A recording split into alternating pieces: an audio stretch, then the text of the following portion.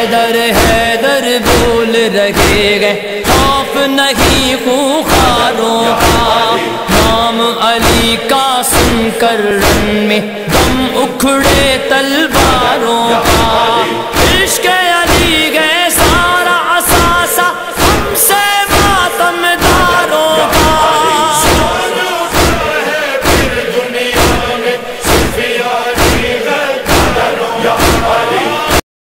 सईद शहदा से इसलिए भी कोई नहीं रोक सकता कि हम पैदा होने से पहले के हुसैनी हैं जब हमारी माँ मजलिस में हमें ले जाती थी या हमदगी में तो हम तो उस वक्त से हुसैनी हैं तो हमसे तो कोई इस रिज को छीन नहीं सकता।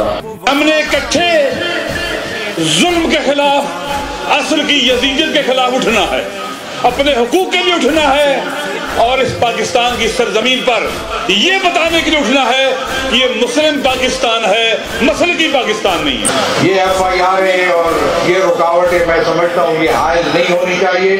पूरे जज्बे के साथ पूरे मोहब्बत के साथ पूरे एहतराम के साथ आज़ादारी सैद शौदा को मनाया जाना चाहिए।